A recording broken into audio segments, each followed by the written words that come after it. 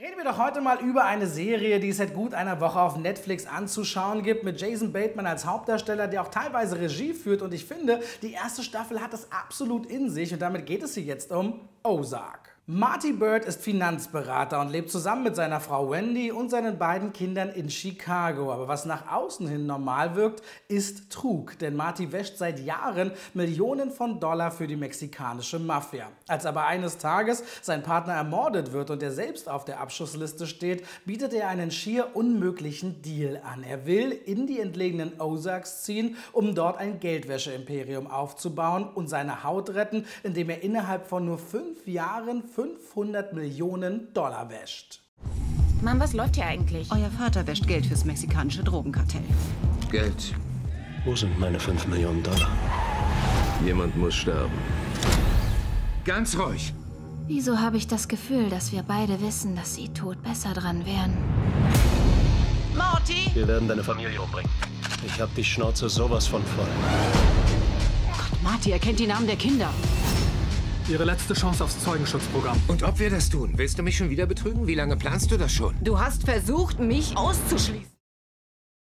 Die erste Staffel von Ozark hat 10 Folgen, die zwischen 52 und 80 Minuten lang sind. Eine Altersfreigabe ist wie so oft bei Netflix-Produktionen nicht bekannt. Ich tendiere aber zu einem FSK 16 und ist seit dem 21. Juli auf Netflix anschaubar und ist eben die Geschichte von diesem Mann, Marty Bird, der auf der einen Seite ein liebender Familienvater ist und gleichzeitig aber in Unterweltgeschäfte hineingewoben ist und damit das Problem bekommt, auf einer Abschussliste zu stehen, irgendwo in ein entlegenes Gebiet zu ziehen, in einer Seegruppe namens Ozark, um dort ein Geld Geldwäscheimperium aufzubauen, ist der Grundgedanke, um ihm irgendwie das Leben zu retten. Und damit befinden wir uns in einer Serie, die sich irgendwo zwischen Gangster, Mafia, Krimiserie wiederfindet, mit einem grundkühlen Look und einem Jason Bateman, den wir normalerweise ja aus Komödien zu größten Teilen kennen, aber hier auf einem sehr ernsten Pfad wandelt, die mir großartig gefallen hat. Kurzum, bei Ozark war ich erst ein bisschen skeptisch bei der Wahl des Hauptdarstellers. Am Ende muss ich sagen, nach der ersten Staffel, ich will mehr sehen und tendiere grob dazu, Leuten, die zum Beispiel Sons of Anarchy, aber vor allem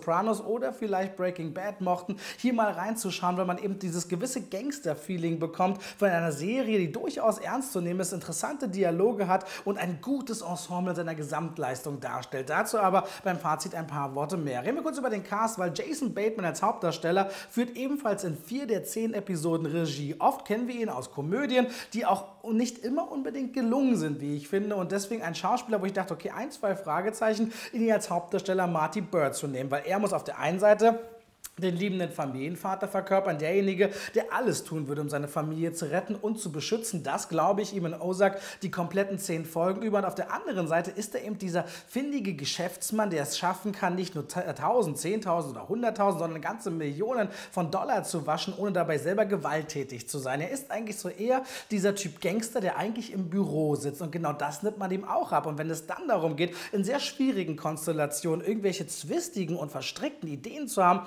um irgendwie so viel Geld wie möglich zu waschen und das Drogengeld nach äh, versteuertes, ordentliches Geld zu machen, dann ist man fast schon überrascht darüber, wie er in verschiedenste Situationen hier wieder auftritt, um ganz klar bösen Menschen gegenüberzutreten und ihnen zu sagen, pass auf, das ist mein Plan und so müssen wir es durchziehen, sodass er zwischendurch eine Stärke bekommt, die immer wieder unerwartet auftaucht. Und das alles schafft Jason Bateman zu verkörpern. Und ich muss sagen, für mich persönlich hat ja in meinem Ansehen oder dem Ansehen als Schauspieler nochmal einen ganzen Schub nach oben bekommen, wenn ich noch separat weiß, dass er eben Regie geführt hat in vier wirklich sehr wichtigen der zehn Episoden, weil es nämlich Folge 1, 2 und 9 und 10 sind. Und Anfang und Ende der Serie haben ja oft noch eine besondere Gewichtung. Kurzum, Jason Bateman hat mir sehr gut gefallen als Hauptdarsteller, auch wenn ich das durchaus gewagt fand, ihn hier in einer so doch äh, ernsten Serie vorneweg als Hauptdarsteller anzulegen. An seiner Seite haben wir Laura Linney als Wendy Bird, einer der äh, bekanntesten Schauspielerinnen überhaupt, seit Jahrzehnten dabei, auch bei großen Kinoproduktionen. Und normalerweise hat sie so einen etwas lieben Touch, den verständnisvollen Part, aber hier ist sie so ein bisschen gerissen und auch äh, durchaus äh, vielschichtiger angelegt, als man das normalerweise von den Rollen gewohnt ist, was ich sehr, sehr gut finde, weil sie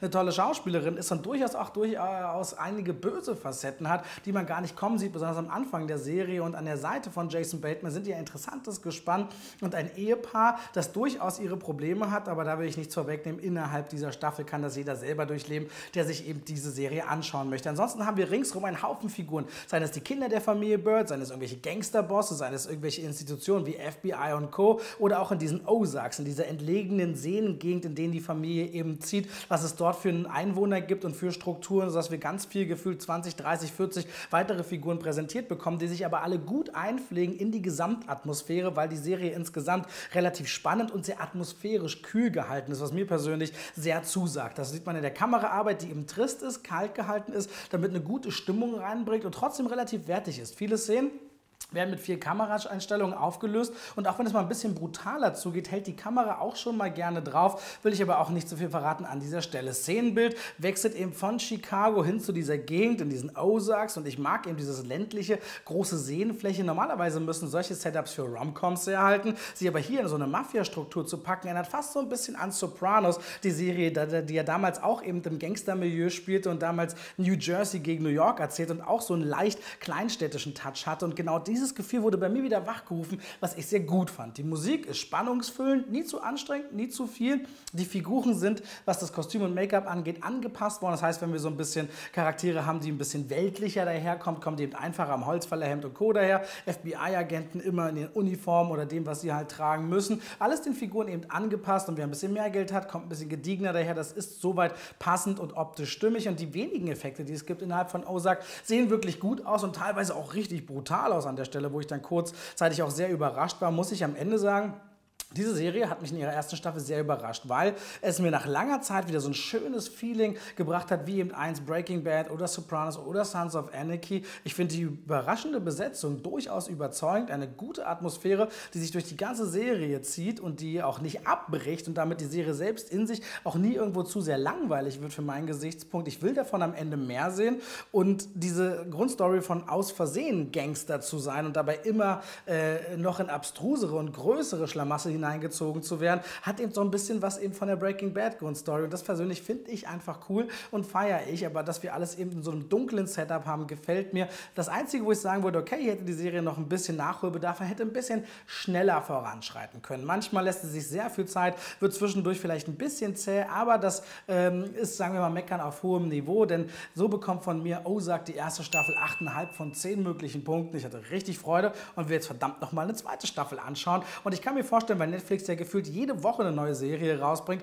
dass vielleicht einige von euch noch gar nicht davon gehört haben. Schaut gerne mal rein. Ich finde persönlich, es lohnt sich sehr und gerade bei diesen enorm vielen Starts an neuen Serien auf Netflix und Co. ist es manchmal schwer, auch überhaupt noch mitzukommen, was gerade frisch auf dem Markt ist. Ozark für mich definitiv eine Entdeckung und Empfehlung an dieser Stelle. Und dann bin ich auch am Ende meiner Review und ich danke fürs Reinschalten und wünsche euch ganz viel Spaß beim Serienschauen.